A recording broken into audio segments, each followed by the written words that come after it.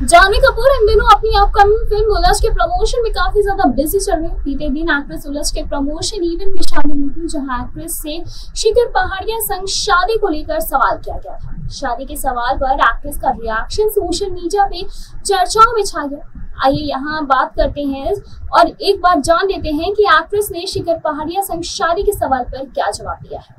बता दें कि जानवी कपूर ने बीते दिन अपने इंस्टाग्राम अकाउंट के स्टोरी सेक्शन में एक पोस्ट किया जहाँ एक्ट्रेस ने लिखा था गाइस मेरे पास एक सीक्रेट है, जिसे शेयर करने का इंतज़ार नहीं करती। इस पोस्ट के बाद जानवी कपूर अपनी अपकमिंग फ़िल्म के एक इवेंट में शामिल हुई थी। बता दें कि उलझ के इवेंट में जानवी कपूर ने एक वीडियो रिपोर्ट्स यानी कि मीडिया रिपोर्ट्स के अनुसार एक वीडियो को शेयर किया था, जिसमें उनसे ये पूछा गया था कि जानवी क्या शादी को लेकर कोई खबर है? इस सवाल का जानवी कपूर ने हँसते हुए जवाब दिया और कहा, आप पागल हो क्या? जानवी कपूर से शादी के सवाल पर जवाब के बाद उनसे पूछा जाता है कि फिर सीक्रेट क्या है। इस सवाल पर जानवी कहती हैं वो आपको कल पता चलेगा।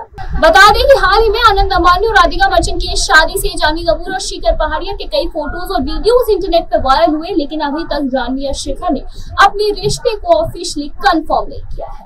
ना ही इन दोनों ने कभी साथ में कोई फ़ोटोज़ डाली है, लेकिन इन दोनों को हमेशा साथ में स्पॉट किया जाता है। खैर, आपको इस पे क्या कुछ कहना है? क्या आपको लगता है कि दोनों एक दूसरे को डेट कर है या फिर नहीं? हमें कमेंट करके बताएँ। ऐसे तमाम खबरों को जानने के लिए जुड़े रहे हमारे साथ और देखते रहें लाइव